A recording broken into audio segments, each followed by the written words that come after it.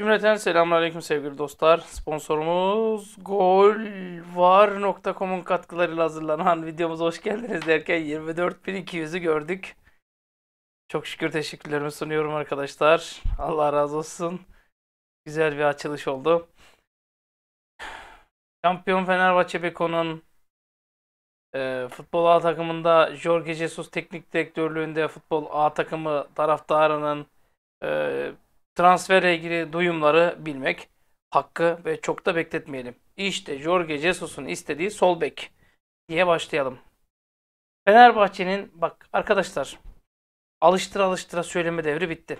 Artık biliyorsunuz değil mi? Yeni teknik direktörümüz Jorge Jesus yani. Jesus yönetiminde Brezilyalı sol bek Wellington'un transfer edilmesini istediği öne sürülmüş.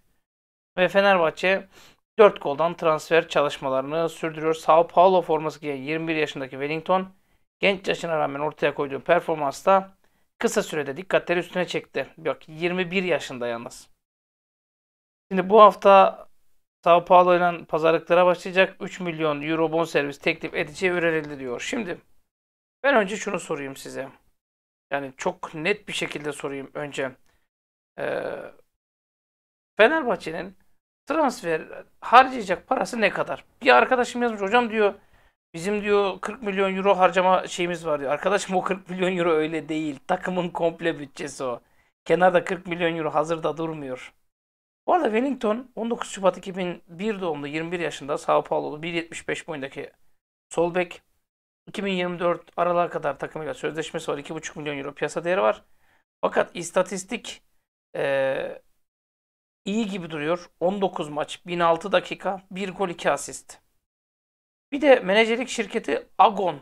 Ee, siz belki Rogon zannetmişsinizdir. Hani Rogon olunca hemen gelir diye de Rogon, Rogon değil Agon. Ve bu Agon e, genç futbolcuların menajerliğini yapıyor. En yaşlı bir tane 24 yaşında 2 2 3 tane 24 yaşında futbolcu var. Onun dışında geri kalan hepsi 24 yaşın altında arkadaşlar. Ee, bunlardan bir tanesi de Giovanni var. 18 yaşında sağ kanat. Muhtemelen e, piyasa değeri bu da yüksek. 13 maça çıkmış 4 gol 3 asist. Muhtemelen böyle şeyleri de pazarlayacaktır. Neyse devam edeyim. Şimdi şunu belirteyim arkadaşlar. Bak. Fenerbahçe orta sahanın soluna kim istiyor? Bruno Henrique'yi. Bruno Henrique bedava gelir mi? Zor. Ve Igor Pakşao'yu istiyordu. Igor Pakşayo bedava gelir mi? O da zor. Çünkü e, genç bir yetenek, genç bir kanat, 21 yaşında piyasa değeri düşük. Evet 800 bin euro gösteriyor. Ama yani ama e, futbolcunun sözleşmesi 2024'e kadar sürüyor. 28 maça çıkmış. 10 gol, 6 asist 2290 dakikada. Baktığın zaman bu çocuk çok yetenekli duruyor. Hani sol, sol kanat, sağ kanatta oynayabiliyor. Ha dersen hocam hem bu Pacquiao hem Bruno Henrique'yi alma ihtimali var mı? Tabii ki de var ama sıfıra yakın. Ben şunu söyleyeyim. Bence Fenerbahçe Wellington'u almayacak. Bence Fenerbahçe sol beke dünyaca ünlü sol bek Marcelo'yu getirecek. Ben eminim şahsım adına ama duyumların biraz daha kesinleşmesi için e, uçak biletinin Hasan Can Aksu tarafından paylaşılması lazım. Şimdi Bruno Henrique bir kanat, Igor Pakşayo'yu alsan diğer kanat mantıklı mı mantıklı. Bu ikisi nasıl alınabilir? Rossi devasa bir bedelle gider. Bruno Henrique'nin yerine Everton'u alırlar. Hani şu biz e, sürmüştük ya Everton'a. Ben de demiştim imkansız bir transfer diye. Belki de salça malça bir şeyler anlatmıştım. Şimdi adamlar gider Ever, Everton'u alır. Bruno Henrique'yi ucuza çıkartırlar elden. Sen de gider Bruno Henrique'ye çökersin. Igor Pakşao'yu da işte satın alma opsiyonu cartta curtta şey e, sonraki satıştan paylamayla alırsın. Süper bak. Bir sol bek Marcelo. iki tane kanat Bruno Henrique ve Igor Pakşao olur. On numarada zaten Lincoln'u çektin. Dört Brezilyalı. Hocam hani Portekiz'di? İlla Portekiz'e gerek yok. Ha, Portekiz demişken Fenerbahçe William Carvalho için masadaymış. Ama ben Fenerbahçe'nin taktiğini çözdüm ya. Transferde. Real Betis. Bir yıl sözleşmesi kalan oyuncuya karşılık 8 milyon euro bonservis bedeli talep etti. Fenerbahçe ise 4 milyon euro önerdi. Allah Allah. Ben bu haberde okunan şeyleri sanki harf harfine biliyorum. Taraflar arasındaki görüşmeler kıran kırana geçiyor. Yeni teknik direktör Jesus'un raporu doğrultusunda Real Betis forması giyen William Carvalho'yu gündemine aldı Fenerbahçe. Şimdi bakın şekerim. Sevgili şekerim, şeker arkadaşlarım, canım arkadaşlarım. Herkesin dilinde aynı soru var. Hocam 30 yaşındaki futbolcuyu biz ne yapacağız? İkincisi hocam elimizde zaten Gustavo varken Carvalho'yu ne yapacağız? Güzel sorular. Şimdi taraflar arasında görüşme kıran kırana geçiyor dedik ve Fenerbahçe istiyor Carvalho'yu. Taraftar arasında pazarlıklar başladı. Yani 8 milyon euro istedi. Sözleşmesinin bitimine 1 yıl kaldı. Fenerbahçe bunu çok bulu 4 milyon euro önerdi. Aradaki fark ilk görüşmelerde olumsuz ama bu hafta tekrardan görüşülecek diyor. Bununla ilgili konuşacağım. Ya da konuşmayayım. Direkt direkt geçeyim. Şimdi Yağız Sabuncuoğlu diyor ki Fenerbahçe'nin 6 numara için ilk istediği isim William Carvalho. Oyuncunun sözleşmesinde çıkış maddesi bulunuyor demiş. Carvalho Fenerbahçe'nin sözleşme şartlarını kabul ederse Fenerbahçe Real Betis'te çıkış maddesi üzerinden bonservis pazarlığına başlayacak demiş. Ee, bir kere Fenerbahçe hemen hemen şu fiyatı veririz deyip de ikna ettiyse ancak o zaman görüşür Carvalho ile. Eğer Carvalho ile görüşüyorsa bonservis tamamdır. Ama Carvalho ile görüşülmüyorsa bonservis aşılamamıştır. Yine ek bir bilgi veriyor. Betis'in en çok kazanan isimlerinden biri diyor. Yüksek maaş alıyor ve bu maaşın üzerinde bir rakamı Fenerbahçe'den talep ediyor demiş. O zaman imkansıza yakın. Maaş konusunda Fenerbahçe'nin istediği seviyeye gelirse Real Betis zaten oyuncunun gidişine engel olmayacak diyor. Şimdi eğer maaştan kurtulmak istiyorlarsa biz mesela Gustavo'yu bugün bedava birisi istese verir miyiz? Veririz. Belli mi olur? Belki 4 milyon euro bile çıkmayacaktır Fenerbahçe'nin kasasından. Ha şu var. 120 milyon euroya serbest kalır maddesi var ama o ilk transfer anında olan bir şey. Onu söyleyeyim. Şimdi Portekiz medyası diyor ki William Carvalho milli takım maçları bittiği için tatile çıktı ve tatili bittikten sonra transferine alakalı karar verecek. Yani e, William Carvalho olayını 5-10 gün konuşmayın diyor. Ancak 10 gün sonra 24 Haziran gibi falan ancak konuşulur diyor. Hocam bu adam bu kadar önemli kılan ne? Allah'ını seversen.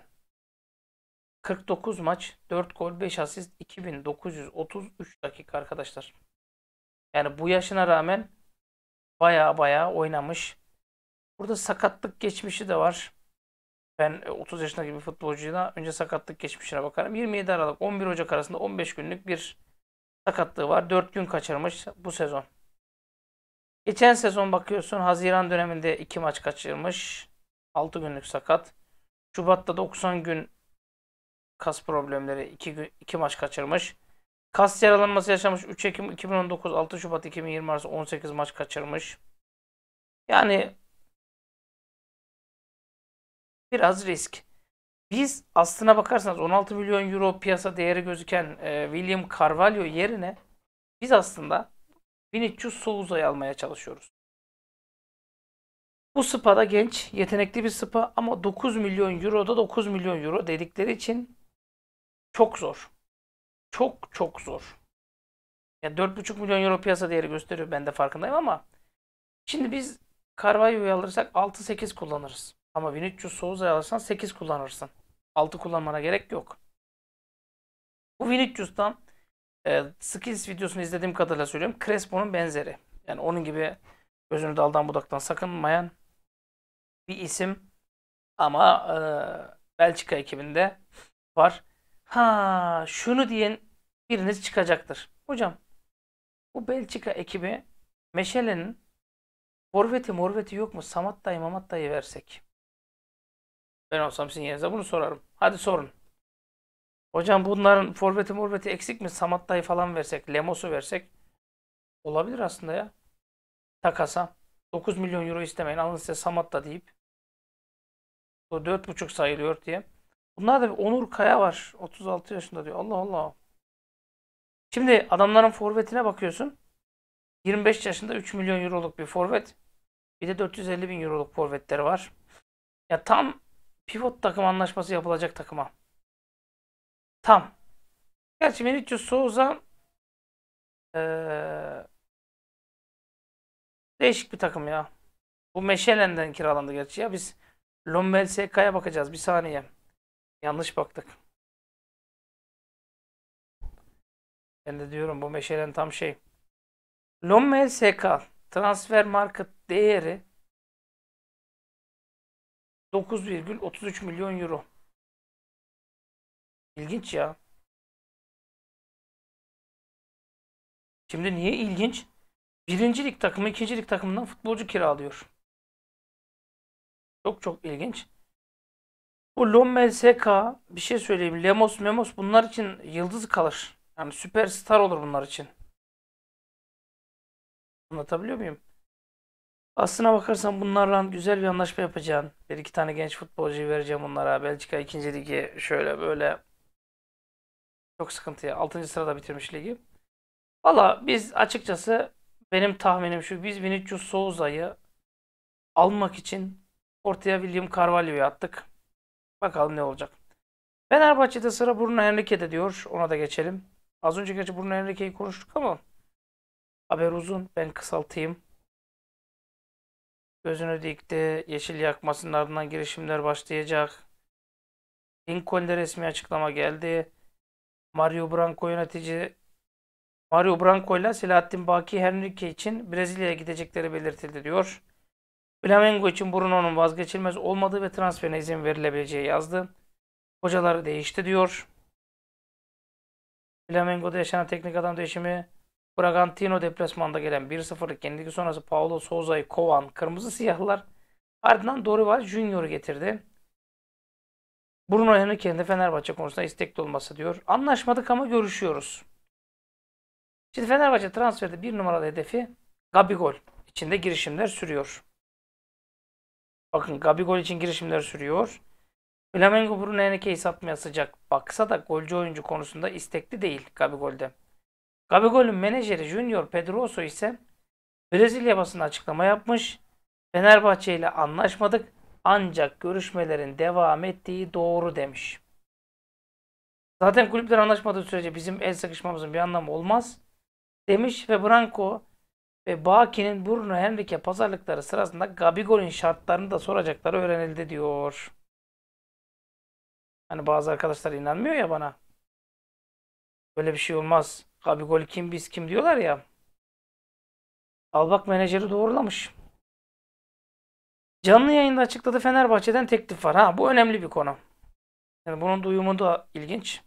Bu arada herhalde en uzun videomuz bu olacak gibi de. İnşallah kısaltıyorum daha. Konya Spor Başkanı Fatih Özgökçen. Abdülkerim Bardakçı için Fenerbahçe'nin gayri resmi teklif yaptığını açıklamış. Yani Mustafa hocanızın şu resmi teklif yok duyumları bir nevi doğru çıkmış. Spor canlı yayına katılmış. Lig bitmeden scout ekibimizi Avrupa'ya gönderdik. Bize rapor sundular falan filan. Ee, biz hocamızla yönetimle görüşüp transferleri bitirdik. Avrupa kupaları başlıyor. Öncü davranmak. Futbolcuları kampa yetiştirmek zorundayız diye, dedik diye düşündük. 5 transferle eksik bölgeleri tamamladığımızı düşünüyoruz diyor. Forvet transferi de yapacaklarmış. Abdülkerim Bardakçı için resmi teklifler var. Bu teklifleri değerlendirirken Konyaspor'un menfaatlerini en üst düzeyde savunmak zorundayız. Daha sonra futbolcu arkadaşlarımızın isteklerine önem veriyoruz. Bu ikisi uyum sağladığı zaman da transfer onay veriyoruz. Şu an değerlendiriyoruz diyor. Beşiktaş'tan resmi teklif aldık. Bakın resmi teklif diyor. Fenerbahçe gayri resmi diyelim görüşmelerimiz var. Resmi teklif yapılıp yapılmaması noktasında inisiyatif tabii ki Fenerbahçe kulübüne değerlendirmelerimizi yapacağız. Şu anda kesinleşmiş bir durum söz konusu değil. Bak şu anda hiçbir teklif Konyaspor'u tatmin edici noktada değil. Bu teklifler geldiği zaman yine bir değerlendirme yapacağız. Abdülkerim Konyaspor menfaatlerini ön plana alıyor. Teklifler düzeltildiği takdirde bir değerlendirme daha yaparız diyor. Hacı Ahmetoviç biliyorsunuz Fenerbahçe'ye çok yazdılar. Hacı Ahmetoviç için de yurt dışından gayri resmi transfer teklifleri geldi. Bak yurt dışı özellikle. Bunu da söyleyeyim. Arkadaşlar bu gayri resmi transfer teklifleri şey e, interest letter yani ilgi mektubu. Bu şu demek hani kaça satıyorsunuz? Kaça bırakırsınız? Diye. Şimdi ben bu Abdülkerim'i de konuşacağım merak etmeyin. Hatta konuşalım. Şimdi Abdülkerim için %100 bilgi veriyorum. %100 duyum veriyorum. Biz sadece fiyatını sorduk. Hani ilgi mektubu gönderdik. Resmi teklifi de sadece Beşiktaş yaptı. Bu %100 doğru.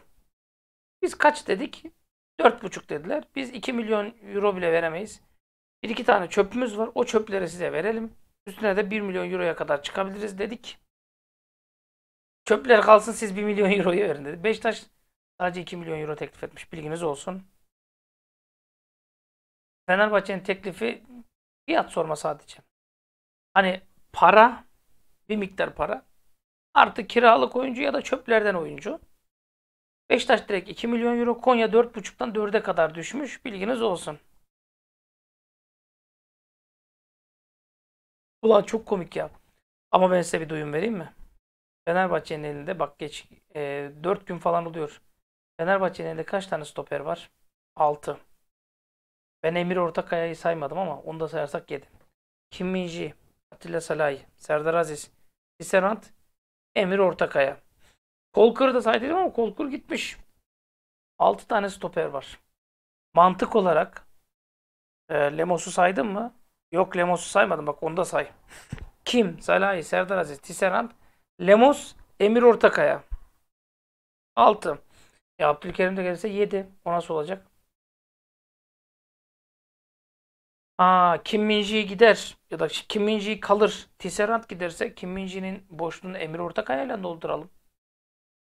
Niye Abdülkerim'le dolduruyoruz ya? Emir Ortakaya çok yetenekli bir topçu. Çok yetenekli bir topçu. Şey içinde Carvalho için de unutmayın. Ahmet Selim Kul diyor ki Carvalho için 6 milyona yakın bonservisi Fenerbahçe gözden çıkardı. Şu an ihtimal düşük. Vinicius Souza ihtimali Carvalho'ya göre daha yüksek demiş. Doğru. Katılıyorum. Ama Vinicius Souza'ya da 9 istiyorlar.